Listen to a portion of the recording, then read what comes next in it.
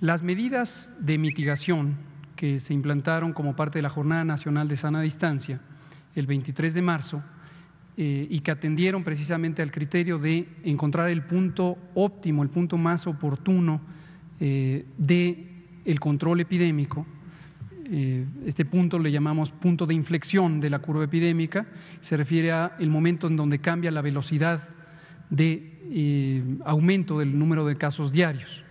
Esto ya lo conocíamos por la teoría eh, sobre las epidemias y la progresión de las epidemias.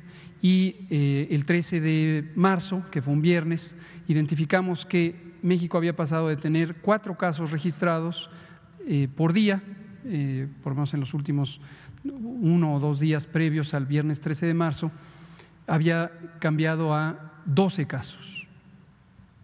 4, 12. Parece muy poquito, ¿no?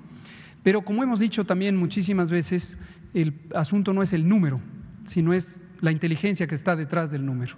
Y de 4 pasamos a 12 y eso significa se triplicó el número.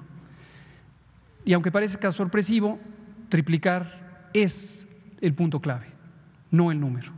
Y entonces ese fue el punto de inflexión que ya estábamos esperando, que sabíamos que iba a llegar desde que empezó la epidemia en México el 28 de febrero.